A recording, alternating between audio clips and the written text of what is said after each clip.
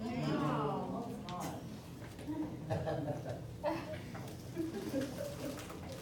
Y'all remember some of the things the nurses did? Yeah, they were helping, smiling, interacting. I think one Maybe of, more specific. Gave the baby a bath. With a, with a, a live baby.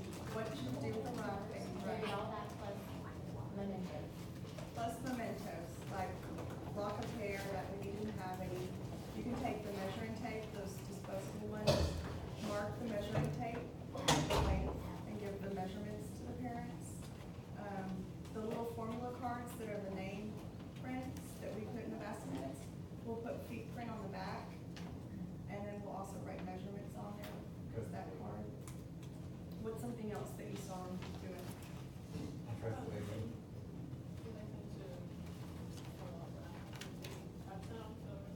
Yeah, listening, so that baby was born alive. no, And, not, uh, the probably- Erin was born Was she? Oh, Yeah, okay. it's they, I gonna say were you- can kind of look She's up just a little bit. pronouncing.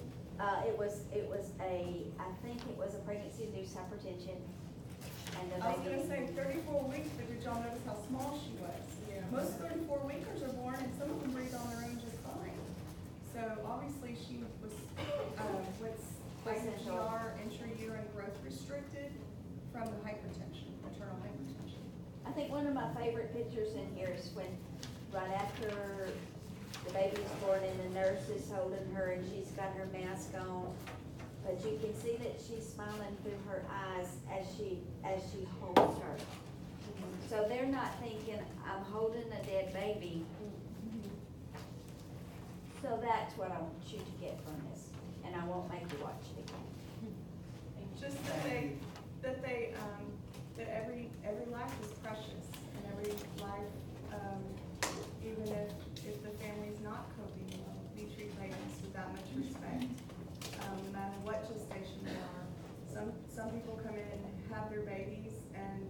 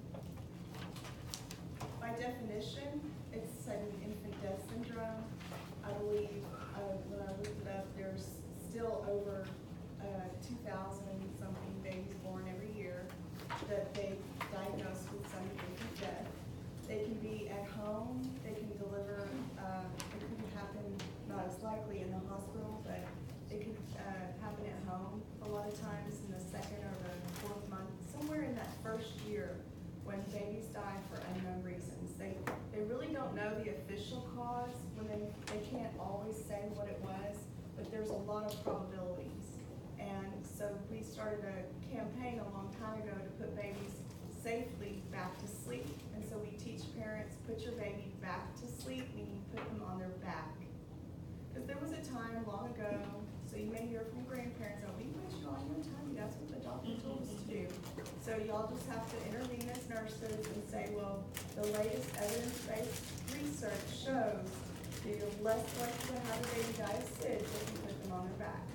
So we dress them in, um, to keep them from getting cold, put them in a onesie or a sleep sack, some light piece of clothing. And then you, at the very most, want to give them one light blanket. Can't be fluffy, can't cover their face, nothing like that. Because one of the possibilities for SIDS is that the baby has trouble waking from its sleep cycle, and that can be from the lack of good oxygen or too much built up, uh, carbon dioxide. So if you had a blanket in your face and you couldn't turn very easily, you could be rebreathing, not getting enough oxygen, that's one of the possible causes. So of course, we think of any kind of fluffy crib matching things that people put in their cribs, or stuffed animals, or pillows. Um, fluffy mattress pads, sometimes people wanna use fluffy mattress pads, or even in the hospital, they bring fluffy things to lay in that, and because they think the mattress is too hard, they're not too hard, they're just fine.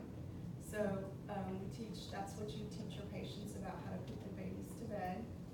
Um, being careful that there's just one crib sheet on it, no, nothing fluffy, nothing, no, if you see the word soft, blah, blah, blah, it's probably not the right NCLEX word,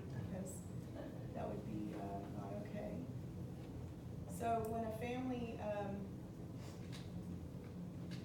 has a baby that's died, you know, it's, it's, you know, one of the most significant things that you can ever go through. Um, risk factors that have been shown are babies that, whose mothers have smoked, maybe they didn't get good prenatal care or no prenatal care. Um, they have previous cases of SIDS in their family, so sometimes there's a genetic defect or a, a defect in their brain that causes them not to be able to wake up from that sleep or not to be able to get the right amount of oxygen. So there's no real confirmed causation, so oftentimes on a postpartum or a post-death autopsy, they'll just automatically put SIDS, because it's too hard to determine what the reason was, unless there's obvious signs of, um, suffocation or something. We just, again, teach putting babies on their back, using a firm crib mattress, one fitted sheet, and that we swaddle, just like that. Um, things that are gonna affect parents and grief with SIDS are how sudden it occurred, the, if they've had another ba- baby that's ever died, uh, of SIDS, any guilt related to any personal skipped one prenatal appointment, or maybe they had one cigarette, they're obviously gonna feel a lot worse, uh, just about how they took care of themselves, and it maybe had nothing to do with that. Their, um, day-to-day behaviors or purpose, how they were living their life, the mother's likely to really, um, feel guilty. Um, especially look at their support systems, they may not have very good support systems. Siblings, uh, when a baby occur, when a baby has SIDS or occurs. Siblings, depending on their age group, remember, they may notice that someone's missing out of their family. They may not have a real concept of death as a toddler. Um, to preschoolers, it's seen as maybe they're being punished, or maybe they had a bad thought about the baby. Maybe they, you know, were mad at the baby that morning because mom was holding them and told her, told the sibling to get down. So sometimes you have to watch out for, um, these kids feeling guilty themselves. And remember, at- even at preschool, they're still young enough to think that the baby could wake up or come back. School-age children are gonna understand that death is more of a permanent thing. They may also have guilt. Adolescents, they truly understand that death is irreversible, but they may not be able to recognize the effect that death has on others. They may not be able to recognize that in their family. Interventions for kids are to be as honest and deliver simple, developmentally appropriate explanations. You know, there's something wrong with the, the baby's or the baby's, we don't know why she passed away. Provide, um, time for the child, one-on-one time, and emotional and physical support. Expect some regression, and don't know if you already have pediatrics probably by now, but remember regression is when they maybe were past one certain stage, but they, they'll move backwards. Maybe they had a pacifier they've given up, but if you have a death in the family, they may pick the pacifier back up, and that regression is kind of a normal response. And so we help children um, or teenagers, we help siblings with things like memorials. Uh, memorial, you know, could be little garden, it could be scrapbooks, it could be um, a funeral that we offer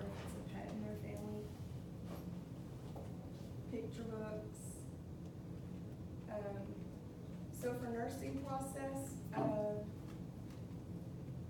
remember that the patient may redirect their emotional energy into their own life. They may demonstrate adjustment to the loss, that's what we're hoping for. We hope that they'll remember their loved one without feeling intense pain. That's the best we can hope for. We don't want every time that it comes up for somebody to break down crying. Um, crying's gonna be normal in that grieving process, but eventually, remember, that's the goal, is that within, you know, some, whatever amount of time, they're gonna be able to adjust and move on in a well coping manner way, um, without those maladaptive things like drugs and alcohol and, uh, acting out some other way. Uh, certainly taking it out on other people. So nursing diagnosis, very often is that anxiety or fear related to a life-threatening event. Interventions that we help with, we listen and be present. How many NCLEX questions have y'all answered that that's the correct answer, right? It's like one of your golden ones that you look for sometimes. Using effective therapeutic communication. Um, don't re- make remarks that could ever possibly, uh, suggest, like, maybe if you hadn't missed that appointment, or maybe if you hadn't had that cigarette, you would never go there. Allow time for goodbye, and this could be just silent time. Letting them hold their, uh, baby is perfectly fine. As a matter of fact, I've seen, um, some information on a social website that's talked about some new cooling blankets or cooling beds that Cradle parents to are cradle, bringing home. and they do, they can actually Take their- stay up to, uh, like twenty-four hours. They're, In, in their home even? no, they, Just in the it- hospital? usually in the hospital, and then, you know, it gives them several hours that they can stay. So the, instead of the mottling and such that occurs, that gets so Well, bad with And, pers- you know, it, a body does begin to degrade, Right.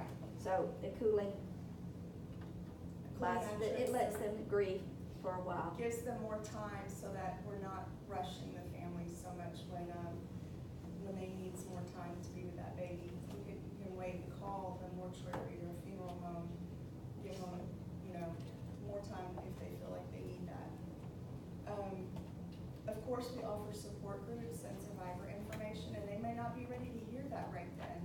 You kind of have to assess where they're at, and, uh, if they're crying, and their eyes out right then, you're not gonna be handing them brochures and stuff. You know, you're, you're just there for them, offering Kleenex, offering tissues, listening to them. Later, when they've calmed down a little bit, or they're about to go home, maybe that's when you can offer some of that other informational stuff. Um, so, you know, we're gonna always be evaluating our clients and our families for kind of what stage of grief we feel like they're in. I popped that in there as another resource for y'all, if anybody heard of it, Hope Mommies, by chance?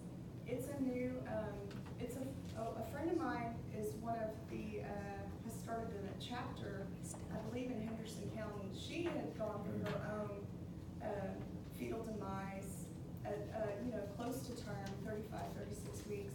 And even though she already had three other children, she really took it hard. She, they really wanted this for the child, and so she reached out and found this organization. Um, and so our hospital in Athens now, uh, has these Hope Mommy boxes that my friend Kelly helped, helps make. Now, she didn't start the original organization, but I guess they can just do different chapters, or anybody can join it. So her church, um, will put these boxes together, maybe every six months, they'll call people down, anybody can help, you don't have to go to that church or anything. And they put these boxes together with resources, um, little mementos that maybe you could put footprints on. It has grief information in it. Um, I don't remember, they may or may not put a little Bible in it. They put, um, some maybe bubble bath for the mom, or maybe some essential oils. Sometimes they'll put things in there to make the, uh, the blankets smell like lavender when they wrap their babies up in lavender, so they get to bring that blanket home and it smells like lavender. They put some really nice mementos in it, and they, when they meet, it's mommies that have also been through loss. And so if you've been through something been stuck in the grief process, that's a great community resource to meet with other moms that have been through that. And they talk about their loss experience while they're packing these boxes and they um, just share. And it's just a neat little. Um, uh, you know, it's called Hope Mommies, but I would be surprised if they, you know, didn't allow other people to come. Um, out, the only thing is we run out of them very quickly because there's no set rule on who gets them, and like I said, some, somebody came in and if they're really, they have a, an eighteen weeker that doesn't meet the fetal demise criteria, like, you know, it's just a miscarriage, but if that mom, that's her baby, we'll, we're guilty all the time of running through those boxes and using them and wrapping their little tiny babies with these blankets lavender and making the little bitty footprints. So we'll use them up probably faster than they would like, and then we run out. So I always tell people about it, because I'm like, if your church is looking for a nice thing to do, this is a wonderful opportunity. There's another organization called, um, Resolve Through Sharing. Um, did- have you heard of that one, Ms. Christensen? Resolve Through Sharing, or RTS, when I worked in California, it was a, more of a, a corporate company, and they had mementos and gifts and a little box and a little necklace that would go home. The only thing with that is, the hospital would, would pay for some, but not many. And so they would re- put a thing in, you had to be at least, uh, thirty weeks or something above to get one and take one home. And they were expensive, so the hospital's eating it when they, when they bought those boxes. Um, in other words, they're not getting reimbursed, they can't charge somebody's insurance for those boxes, so it was just coming out of some random volunteer budget. But the nice thing about the RTS was it had a universal sign of a oak leaf sitting like in a river, and it had a little drop of dew on it, or, you know, and the idea was that you teach everyone that works there in the hospital what that universal oak leaf means, and that it means that there's a death of a baby. And as they, it was part of the hospital orientation, that if you see the sign on the door, don't just bust in there if you're with lab or another nurse or you're getting vital signs and see the isolette and it's dark at two in the morning and say, oh, congratulations, you had, you know, you don't just accidentally bust in and say the wrong thing. If you had that oak leaf in the door, it meant go check with the nurse before you go in there. There's been a fetal demise or an infant loss, and that would be a real good cue to everybody what the oak leaf meant up there on the wall. So, um, I tried to get hospitals to order more of it, but again, that's a big cost, costly kind of thing, so. But it does help people from accidentally saying the wrong things. So, um, looking at your things that we've talked about, brief universal experience, meaning it's gonna involve all family members, friends, siblings. Normal grieving is very painful to deal with in our own lives, um, and we can't get away with not facing it. It's, it's something that we love to get out of, and we can't. It's just part of life. It's a, um, healthy human response to loss, or we try to make it to be a healthy human response to loss. Ways, you know, as healthy as possible to move on. You can apply it to any individual, family, entire communities, you know, when, um, 9/11 happened, that's pretty huge grief, a whole city, a whole nation, a whole world grieved. A social process with cultural implications, um, and of course, remember, look back at your stages of grief with the giraffe. I'll make, I'm sure he's posted on there in Canvas, so that you know which stage goes next, which stage, and be able to recognize that in an NCLEX question. Um, if the nurse walks in and someone's yelling and throwing things in the room, they're probably in the anger part, or just be able to look at the question and understand it. The, uh, different categories of grieving, remember the complicated, the disenfranchised. Um, complicated was a whole lot of multiple, multiple things on there, right? Um, disenfranchised means someone's getting cheated out of grieving because society or someone feels that maybe theirs isn't a true loss.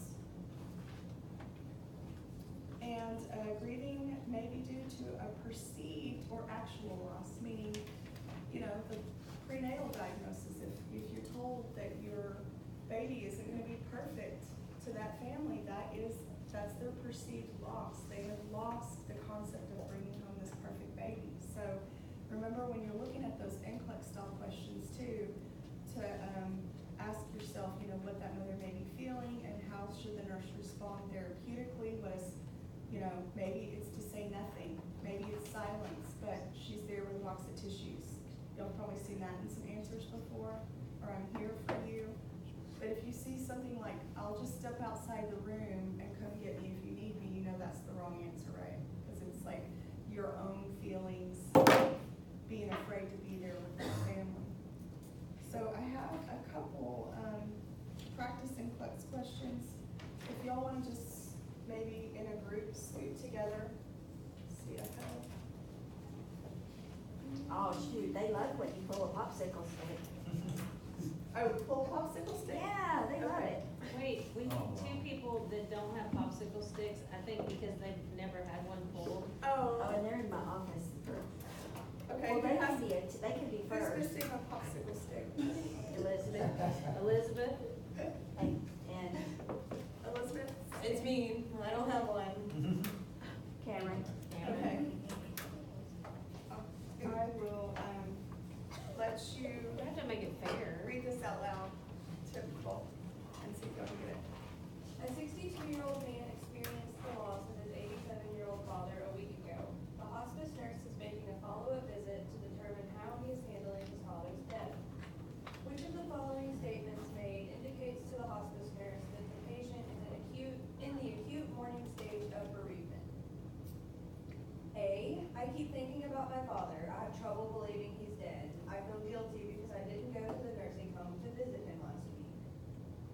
B, I've been grieving my father, losing him is a tremendous loss, but I've got to get on with my life. C, my father was a saint. I'm so angry at God for taking him away. I'm crying all the time. I haven't been able to work for days. Or D, I'm going to spend the weekend with my children. They understand what I've been going through and I can relax around them. Okay, what was the, let me look at the question Yeah, again. what was the question? Um, sixty-two-year-old man experienced the loss of his eighty-seven-year-old father a week ago. The hospice nurse is making a, a following visit to determine how he's handling his father's death. Which of the following statements indicate to the hospice nurse that the patient is in the acute mourning stage of bereavement? So cute.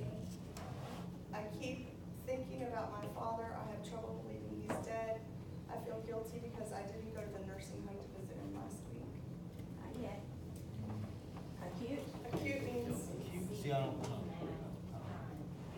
crying all the time. I haven't been able to work for days. My father was a saint.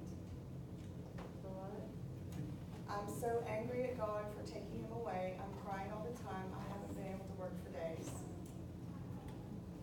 it that one? No. So what's acute? Hold on, let's just Yeah, start that's with what I'm, acute. I'm thinking of like. Acute means it just happened. just happened, right? One week ago. Week ago, A couple week weeks ago. How ago. old is, how old is the person grieving? Sixty-two. Two. How do, how does, the- how does an older adult grieve? If they don't take care of themselves. They might not, they might not. Now, how take they care of grieve? I think it's more accepting. It is more, and sometimes it's more intense. Okay, look here. So you have a, so you're, you're grieving the loss of a parent, and you, and some of you in here are too young to even kinda, you're just going, well, yeah, he was old, and he died, get over it. But the loss of a parent affects you when you're sixty-two. And he's older, so he can regress. And he's older, so he's gonna feel it more intensely. So what kind of answer do, you- are you thinking? For acute? Acute. I mean, you know what, is he, if he were grieving appropriately, Mm-hmm. what would you expect one week after dad died? He's still upset. The No, no, denial. no, No. I would say A. Thought it was A. What's your choice again? I've been thinking about my father. I have trouble believing he's dead. I feel guilty because I didn't go to the nursing home to visit him last week. okay, healthy or unhealthy? I mean, that's healthy, he feels guilty. Healthy or unhealthy? Well, he has trouble believing that he's dead. Unhealthy. It's unhealthy. It's unhealthy, yeah. So let's read the next one. I've been grieving my father. Losing him is a tremendous loss, but I have to get on with my life. It's healthy. But He's then like accepting. Get on with your life so fast. Well, maybe he already knew he was already dead. Wait, we're reading way soon into this. You can't, you can't We're ask digging the deep. question now. See, my father was a saint, I'm so angry at God for taking him away, I'm crying all the time. I haven't been able to work for days. Healthy or unhealthy? Unhealthy. Read, read D. I'm going to spend the weekend with my children, they understand what I've been going through and I can relax around them. So Healthy or unhealthy? Healthy, I think he's going with his kids. Okay, wait a minute. But he's going away to forget about that. He's gonna have to come back home. And then he's still not dealing with his grief, he's putting it Is aside. he dealing with his grief or is He's he? No, he's putting it aside. So what was the answer? C? C. How many people think it's A? Okay. How many people think it's B? C is I'm so angry, I'm crying all the time, I haven't been able to work for days. So, yeah, see, I think it's. I think it's C. I'm going with D, I'm going to spend the weekend with my children, they understand what I've been going through and I can relax around them. What's the answer? Yeah, I'll say. Yeah, what's the- What's the answer? what is What's your answer? answer? Ms. Christensen? You- You, you've wrote a very complex question. I, my, my guess is B. Wait, wait. Well, none of us it Um, would be. that's, Yeah, no, it's not- well, B is, B is, I've been grieving a lot, but I'm gonna go forward. Mm-hmm. That doesn't go with what you said. Don't put this on there. Yeah, Please. This example Wait, what's your answer? So- So what's the answer? The answer is supposed to be, um, I keep thinking about my father, it's been one week, I have trouble believing he's dead. Okay. Okay. I feel guilty. But that doesn't necessarily, Is that uh, A? But I thought Uh, I'm- B. B probably would have also been correct, except for the part that it's too soon to say, I've got to get on with my life. Right, and that was my, and the thing too is, okay, so what, what, if you, if you are a week out of, out of a death, what stage are you likely to be in? No, denial. Oh. And I like, I like to think of denial as also shock. I think that shock is a, is, is blended in right there with denial because you just, you, right, You can't believe it, yeah. so, um, Because if my mom just died a week ago, I'm gonna be saying, I can't believe she's gone. right. And I'm gonna feel really guilty that, why didn't I go visit her last week? Right. Well, I'm not, cause I visited mine, I'm good. But you know, and, and you're, but, but those feelings of guilt are, uh, because the grief is acute. So it was a, it was a, it was a pretty complicated question, Yeah, I wouldn't have. because you, but it sure did make us really think through it. It's like, what, what is appropriate grief? No one goes through it the same. Yeah, what's a cute?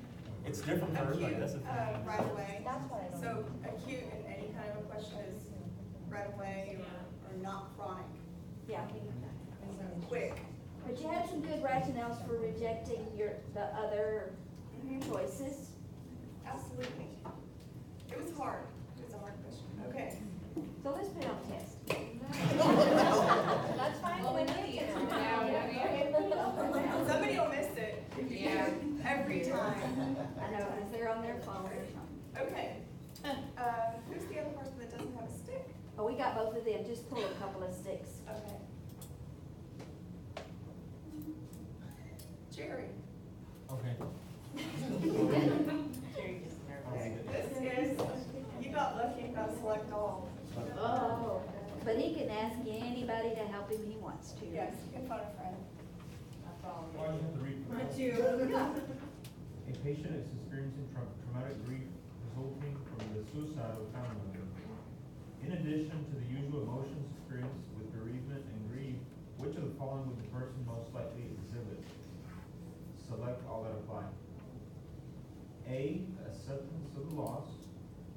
B, sense of rejection. C, disgu- disgust. D, stigmatization. And E, self-blame. Okay, so suicide is what type, I mean, what type of Yeah, what grief did we is it? talk about uh, suicide That falling one's under? dis- disenfranchised. Disenfranchised. So look at your disenfranchised notes. Yesterday. And these are emotions that are experienced with bereavement and grief for a person that has some sort of disenfranchised loss. Are they gonna have acceptance of the loss? No. Are they gonna have a sense of rejection? Yes. They're gonna have disgust? Yeah, maybe. Do you know what? I think that was it. That one is more anger. I think, Yeah. yeah, Um, stig, um, stigmatization? Yes. What about self-blame? Yes. Y'all did that good. Y'all thought You that did. quick.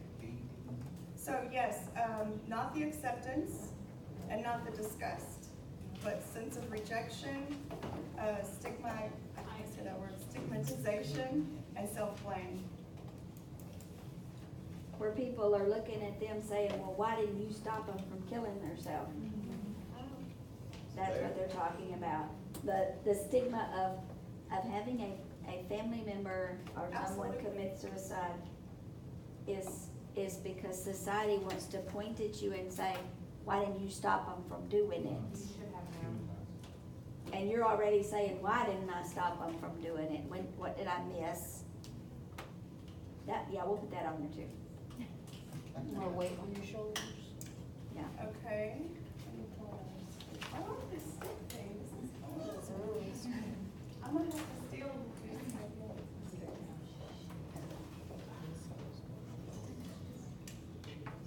Sarah.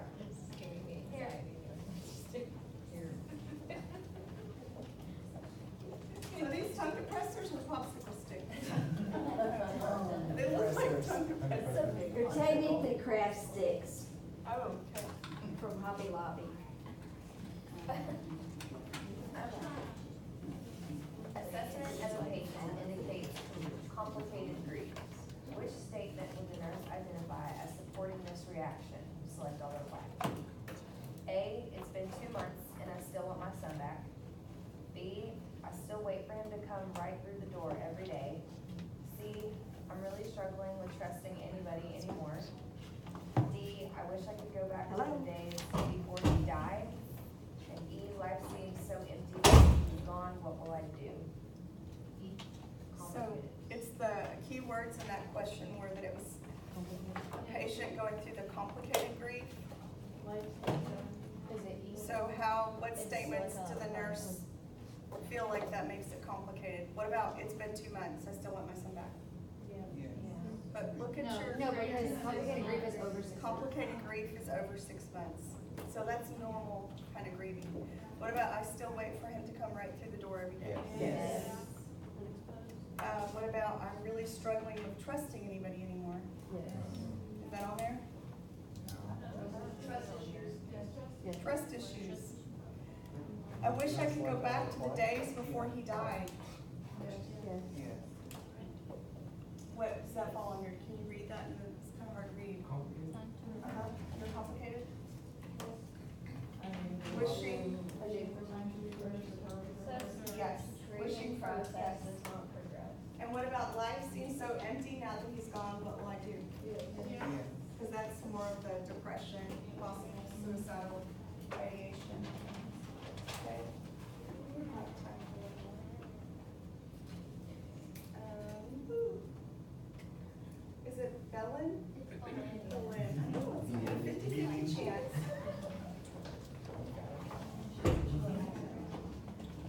Yeah, need a little accent mark on there. It's over here. No, this one already was us. I'm looking because I'm waiting for her to hold up her fingers, but. The nurse is caring for a child Oh. who just died. Ted? Well, wait, I don't know, question. Okay, I thought you were holding up centimeters. Four, that's, what's the question? No, you're. No, how many dilated? Oh, we're, we're, It's a different. oh, I just confirmed Gracie's appointment for Friday. She's having her cleft lip repaired on Monday. I shall, br- I should bring you the before and after pictures. Yes. So it had to be cleared by the cardiologist and, uh, We are very excited for her to get this, this done. So I'm confirming her.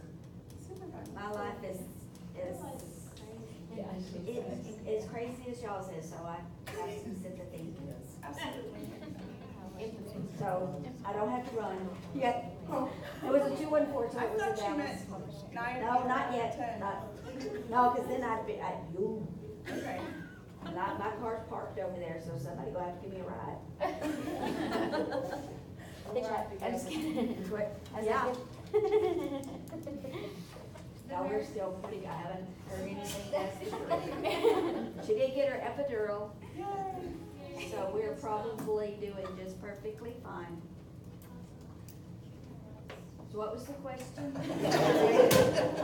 She's back She in right hadn't started yet. Okay, read the question. The nurse is caring for a child who has just died. The parents asked to be left alone so they can rock their child one more time. The nurse should A, grant the request, B, assess why they feel this is necessary, C, discourage this because it will only prolong the, their grief, D, kindly explain that they need to say their goodbyes now and leave. I put that one on the test. Come on. Do you know what?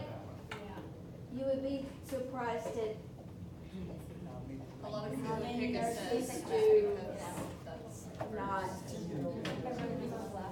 Especially if they're not comfortable, if it's any, you know, if they're not comfortable with it, then. We've already put, we,